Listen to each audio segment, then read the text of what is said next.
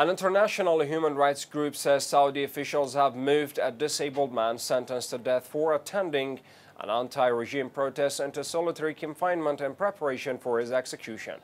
The UK-based Reprieve stated that Saudi authorities have not given a reason for the transfer of partially deaf and blind Munir al-Adam, which took place on June 22.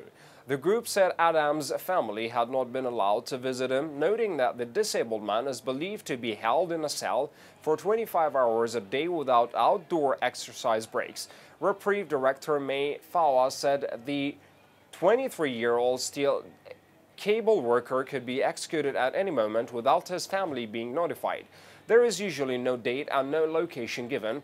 The system is incredibly secretive or secretive and opaque, which adds to the distress for the families of those involved, she added.